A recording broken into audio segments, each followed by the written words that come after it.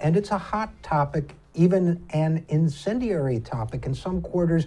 What could or should the Democratic Party have done differently to uh, bring in white working class voters who wound up, in many cases, uh, voting for Donald Trump instead? Well, our next guest has written a book about it. Joan Williams is a scholar of social inequality. She is the founding director at the Center for Work Life Law and a distinguished professor of law at the University of California.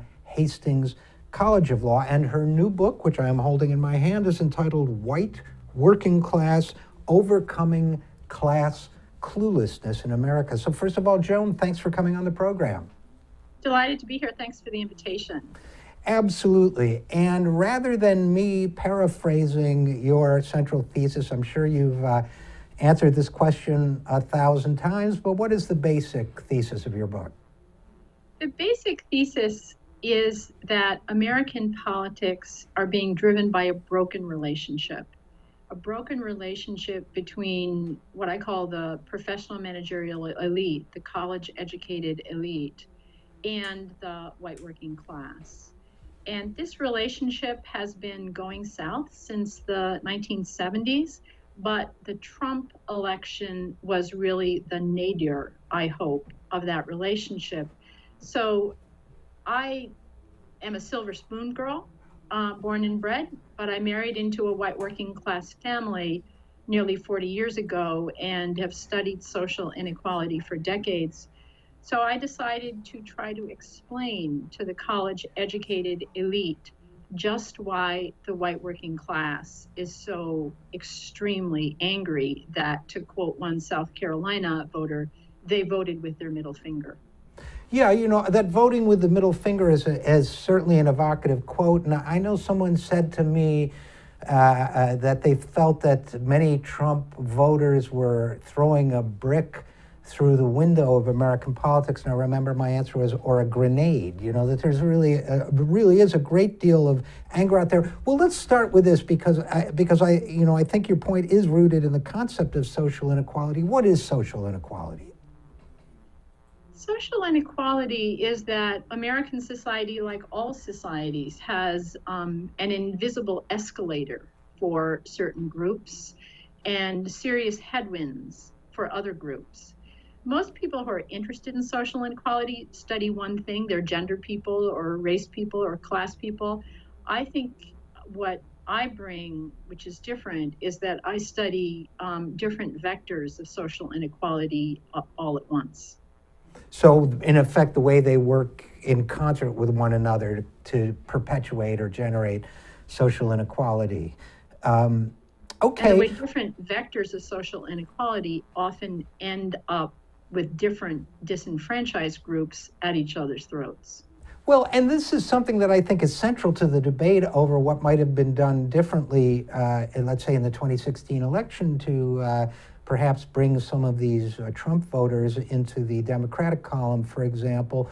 One of the things, since you're talking about the different vectors or forces involved in social inequality, one of the things that's always struck me is that there is a it seems to me that there's a faction in the Democratic Party, and you could say it's driven by the professional managerial elite, uh, but not all of them, of course. But th- there is a certain faction, it seems to me, within the Democratic Party that wants to posit that identity issues, whether they're race or gender, uh, are, are somehow distinct and separate from, let's say, economic or class issues when, when class issues or economic issues are going to primarily, in many cases, hit women and minorities harder, for example. So I've, I've found sometimes the, the, that there's an artificial fractioning off of populations that take takes place. Do you do you agree with that? And is that in any way uh, part of your your argument in this book? Well, I think that certainly one of the reasons that Rush Limbaugh, for example, has become so popular in deriding political correctness is because we haven't included class as one of the ways that people are systematically disadvantaged in the United States. And there's often a lot of loose talk about white men and how white men are privileged. And um, uh, of, at, that's uh, you often forget in that discourse, and I've been part of that discourse. I spent a lot of time in corporate diversity with corporate diversity initi- initiative people. Um, we forget that being a white man who is a blue collar guy um, is also a form of social inequality. Now, what's more important, class or race or gender? This is a boring and unimportant question. It, this is not a zero sum game. The fact is, um, all politics is about identity, and that's true for white the white working class as well as everybody else.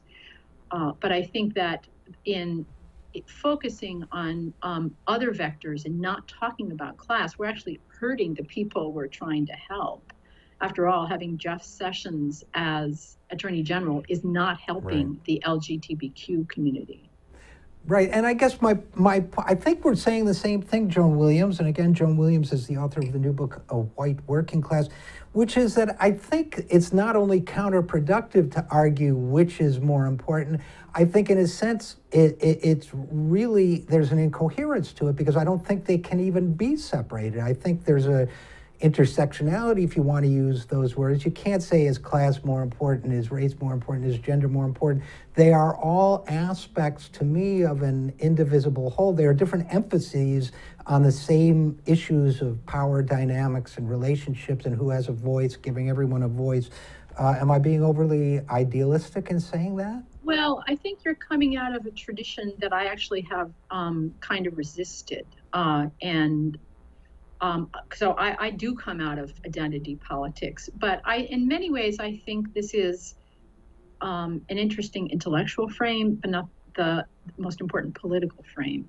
I think that what we really have is that's driving American politics is what I call the class culture gap, and that Democrats, um, increasingly since the 70s, have been very, very focused on the the cultural issues that are very precious to me and the likes of me. Um, everything from LGBTQ rights to abortion rights. Um, these are rights that are so important to me and my crowd because we are privileged people for whom self development is it both um, a precious ideal and um, we feel very entitled to it the white working class um, is not as focused on self development, which, after all, they don't have the same access to um, as the college educated elite does. They are more, much more focused on self discipline. Because after all, you know, here in San Francisco, being disruptive can make you a billionaire. But if you're in a blue collar job, it just gets you fired, is what right. being disruptive does. And so many of the issues that are very, very dear and central to the progressive wing of the Democratic Party um, are issues that reflect the realities of their lives as the college educated elite. And, you know, one important message of the book is we can't expect elite values from, from people to whom we haven't offered elite lives. And the strongest message I have for Democrats now is that the only way, both for ethical reasons and for tactical reasons, the only way um, forward is to put the economic future of Americans without college degrees ahead of some of these other cultural projects that I've dedicated my entire life to and I'm not diminishing the importance of. But by failing to address the economic hollowing out of the American middle class and the withering up of the future of Americans without college degrees. Number one, I think as uh, as progressives and as Democrats, that's that's not who we are. I, I think that that should be at the center ethically. But I also think tactically, not putting at the center is uh, that that this economic agenda at the center is jeopardizing all of our other projects. And one of the things that Democrats have done, which I think, I mean, I've been a university professor since I was 28 years old, so I am not opposing the importance of college. But the fact is, two thirds of Americans are not college graduates. And um, a mind exploding fact for many in the professional managerial elite is that many of those people don't want to be college graduates. Mm-hmm. They want a path to a stable middle class job that leads can, that can sustain a stable family life as without a college degree. That's what they want. And um, again, the Democrats have, I think, become so uh, deeply identified with the college educated elite that they have forgotten how to talk to people who are focused on self discipline and who want that solid job without a college degree. Well, you know, I first of all, I, I have to say, and again, we're talking with Joan Williams, uh, author of the new book "White Working Class." Uh, that, in some ways, I would think it takes a certain amount of courage to uh, deliver that message because uh, while I fundamentally agree with it, I think there are a lot of people who, within the Democratic, within Democratic circles, who react with a great deal of negativity to it. Uh, at least in my experience, maybe you know, it's just my experience is not. No, that's true. Yeah, it's not a comfortable cultural position I'm in. I'm in right now, um, and I think my message is that I'm asking the professional managerial elite to give up some privilege. Um, because after all, it's their cultural projects that have been at the center of democratic ideals for quite a few decades now.